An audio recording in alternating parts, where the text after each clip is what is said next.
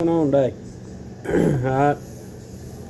Uh, I bought this for my girlfriend here. It's a SCCY CPX2 9mm. And uh, today I'm going to show y'all how to break it down and reassemble it. First you want to start the button on the side. Take your magazine out. Make sure there ain't nothing in there in the chamber. Make sure it's cleaned out. Alright, you got you lock pin here that holds your barrel open.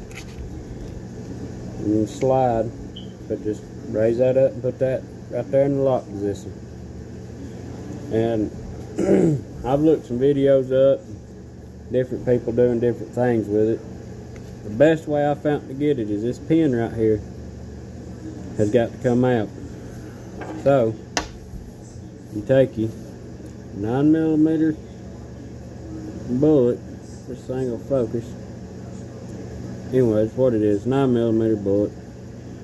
On, on this here, nobody really explained to you, tells you how to do it, but this top piece up here, you ever see that above it there, you got to take this brass piece and put on the top side of it. And then if you just take it and push down and pull out, you see that pin will come right out. And you just pull that pin out. That's what your pin looks like.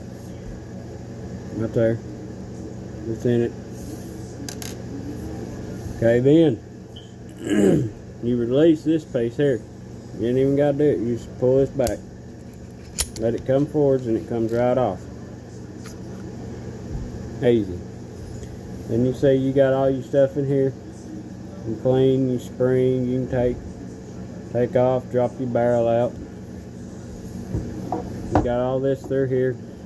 And here on your slides and your trigger right here, action. You really need to make sure you keep stuff like that lubed up more.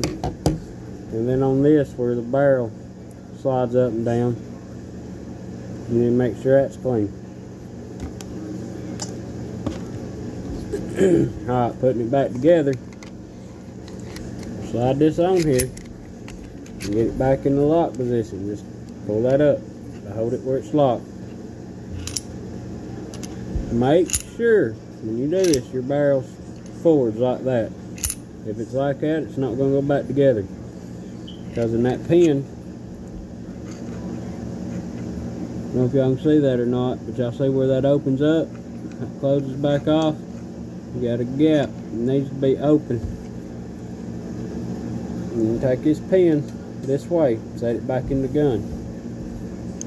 You gotta line your hole up, and you'll see where your hole is.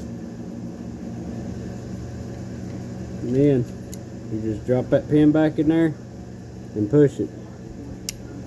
Y'all hear? I hope y'all heard that click.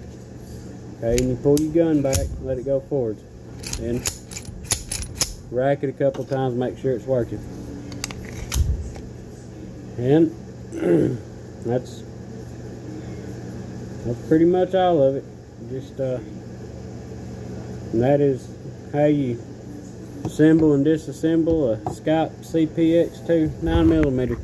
If y'all have any questions, leave them in the comments below and I'll make sure to answer them. Thank you. Have a good day.